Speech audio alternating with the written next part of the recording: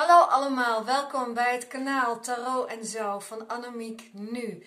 Deze clip gaat over de poort van 2222. 22 mei 2020 is het weer zover. Wat al die tweeën betekenen staat in de clip die hierachter gepost wordt. En dat is de clip waarmee je de oefening kan doen. Een hele eenvoudige meditatie, visualisatie, hoe je het maar wil noemen. Waar je dan ook bent.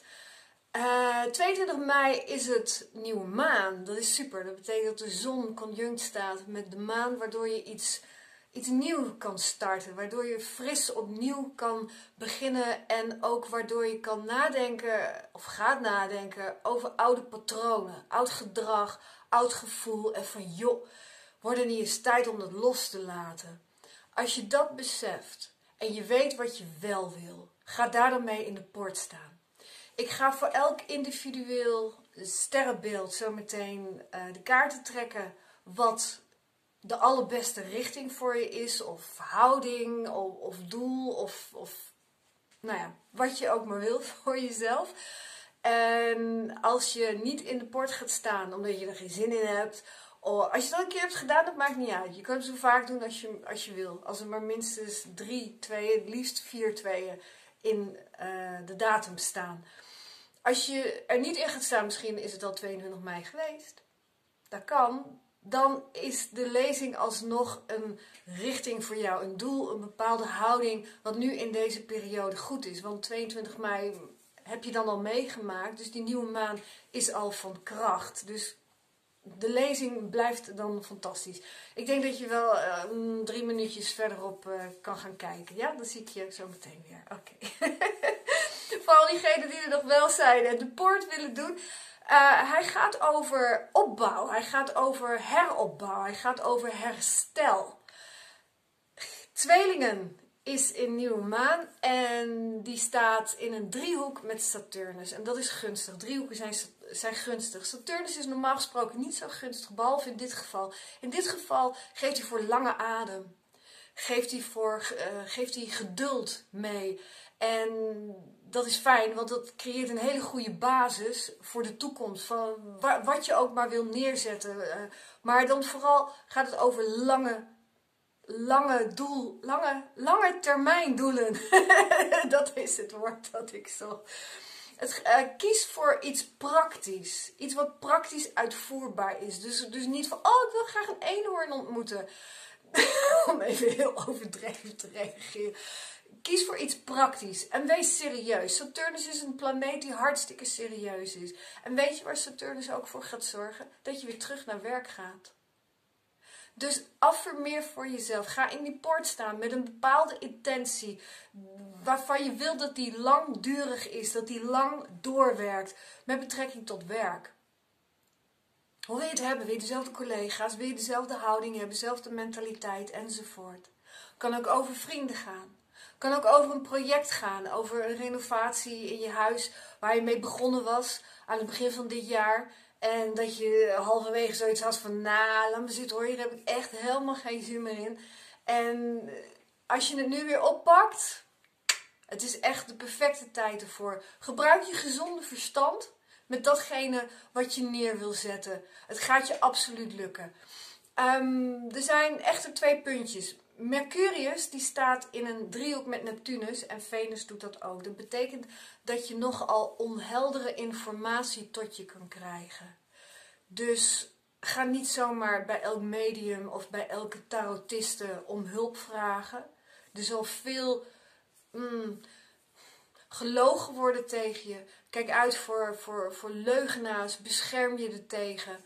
En wat uh, Mercurius uh, in een vierkant met Neptunus ook brengt, is verwarring. Je kan je verward gaan voelen. Als je in die poort staat, ben ik bij. Ik upgrade hem. Ik ga er zelf eerst als eerste in staan en ga hem weer ja, verstevigen. Ga de energie goed neerzetten. Dus daar binnenin ben je helemaal helder. Uh, Venus staat ook in een driehoek met Neptunus 22 mei. En dat betekent dat je misschien je relatie of een relatie die je niet hebt, het gas van de buren, groener gaat vinden. Dat je gaat overidealiseren. Oh, als ik maar zoveel geld had. Oh, als ik hem nou maar had. Oh, als zij nou maar mijn vriendin was. Je gaat overidealiseren. Dus let daarvoor op. Je gaat ook, dat doet Venus ook, die heeft met uiterlijk te maken. Je gaat je misschien onzeker voelen over je uiterlijk. Ga daardoor geen beslissingen nemen. Omdat het, het is een, een, een, een, een positie van planeten die heel snel voorbij gaat. Dus die energie is ook snel voorbij. Maar het kan zijn dat je je zo onzeker voelt dat je je laat misbruiken door je partner. Doen we niet, hè? Nee, nee, nee, nee. En het kan ook zijn dat, je, uh, ja, dat er een breuk gaat komen in je relatie. Omdat je zo onzeker bent over je uiterlijk. Of uiterlijke schijn. Of over je, je, je, ja, je image. Je image. Ja. Venus uh, in een vierkant met Neptunus kan ook betekenen dat je bedrogen gaat worden als het op financiële deals aankomt. Bijvoorbeeld, misschien koop je iets via Marktplaats en denk je al bij jezelf, nou, dit is eigenlijk te mooi om waar te zijn. En daar word je ook voor gewaarschuwd. En rondom 22 mei, mm zou nog wel eens waar kunnen zijn. Je kan trouwens in de, de, de, de poort stappen, deze poort, die 22, maar ook nog wel de 23ste. De energie is zo ongelooflijk sterk. Hij is zo ontzettend gaaf, omdat het dus ook nieuwe maan is. Ik ben echt super enthousiast erover. Dat is echt super, ja. Nog even iets over het coronavirus. Um, Mercurius ten opzichte van... Uh, hoe zeg je nou? Mercurius en Venus in een vierkant met Neptunus betekent dat uh, het besmettingsgevaar er nog steeds wel is, maar dat er ook een ommekeer in de pandemie, zo noem je dat hè, in de pandemie gaat komen. Het is immers, waar ik mee begon, een positie van herstel en wederopbouw. Dus mensen kunnen, er gaan nog weer meer winkels open, nog weer meer uh, mogelijkheden uh, ja, zullen zich voordoen met betrekking tot werk en herstel. Geldt ook voor gezondheid. Zeker als het gezondheid is met iets wat zichtbaar is vanwege de Venuspositie. Bijvoorbeeld iets met je huid of zo. Um, mocht je nog steeds bang zijn voor het virus of iemand kennen die bang is, bekijk alsjeblieft mijn clip of stuur hem door. Ik heb vier clips gepost uh, over het coronavirus. Positief. Ik gebruik cijfers van het Longfonds, van uh, Intensive Care Vereniging, van het CBS. En je kan ze zelf na gaan googlen. Als je die cijfers hebt gezien, dan denk je: Oh mijn hemel, waar zijn we mee bezig in Nederland? Yes, en in de hele wereld. Oké, dat gezegd hebbende, dan komt nu de ja, reading, de advies, ja, advies ik ga advieskaarten trekken, zou je kunnen zeggen. Over wat het allerbeste is, hoe jij in de poort kan staan of met wat je in de poort kan staan. Of wat sowieso jouw richting gaat zijn komende dagen, deze week. Deze reading voor mij is dus wel heel tijdsspecifiek. Dat zijn alle andere readingen niet. Mocht je dus de poort hebben misgelopen, eh, dan kan je dus alsnog wel gaan eh, kijken naar alle clips van mij die hiervoor gepost zijn voor dit speciale sterrenbeeld. Namelijk Waterman. Hi, welkom. Ik ga kaarten voor je trekken van het deck Doreen Virtue. Normaal gesproken heeft zij engelenkaarten. En deze gaan over vorige levens. Ik heb ze al eerder gebruikt.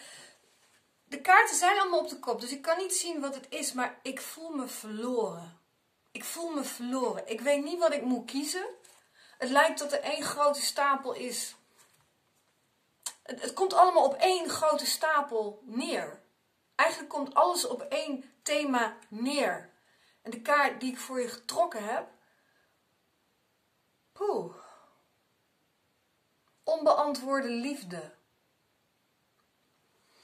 Ga niet in de poort staan met de intentie, of komende tijd, komende jaren, eigenlijk nooit,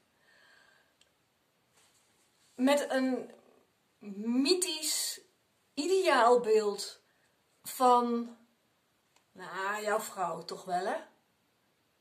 Of van je man. Ik maak nu een grapje. Dit is ernstig. Onbeantwoorde liefde is pijnlijk. Ga dus niet in die poort staan met het idee dat jullie twee samenkomen.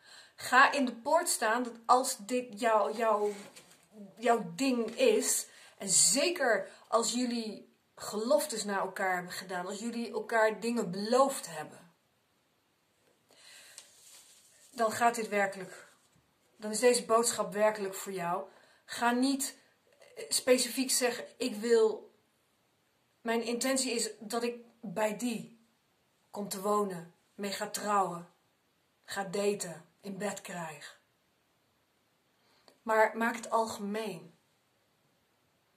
Laat me bij iemand zijn bij wie ik pas en die bij mij past. Van wie ik hou en die van mij houdt. Misschien hoeft dat laatste nog niet eens. Laat me bij iemand zijn waardoor ik van binnen sterker word. En als het niet de bedoeling is dat er een partner voor mij is die mij dat kan geven, laat me dan de moed hebben om mijzelf dat te kunnen geven. Uiteindelijk ben jij ook de enige die jouw innerlijke, innerlijke strength, innerlijke kracht kan geven. Jij bent de enige uiteindelijk die jouw liefde kan geven. Jij bent de enige uiteindelijk die jou naar onvoorwaardelijke liefde kan brengen. En dat heeft niks met personen te maken, helemaal niks.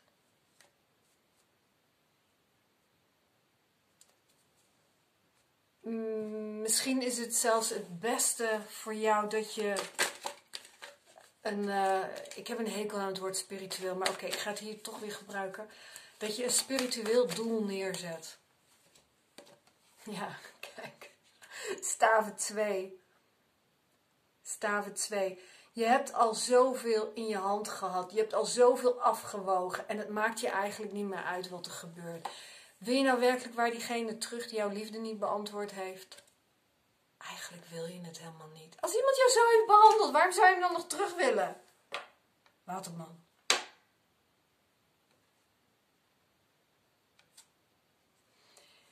Eén staaf is hoger dan de andere staaf. Kies dus voor dat doel wat, wat het hoogste is.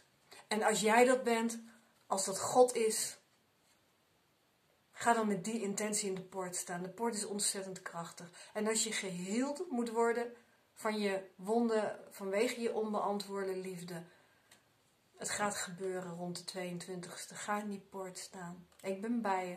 Mijn energie alleen al, mijn aanwezigheid alleen al geneest. Kan je nagaan wat er gebeurt als je dus bij mij komt voor een healing. Ik beloof je dat ik je meer geef als je bij mij komt dan waarvoor je komt. Als je bijvoorbeeld zegt, ik wil van mijn hoofdpijn af ik ga je dingen geven die je eigenlijk altijd al hebt gehad. En waarvan je niet wist dat het mogelijk was. Of dingen weghalen bij je waarvan je niet wist dat het mogelijk was. Anyway, eerst de poort of niet dan? Dank je voor het kijken.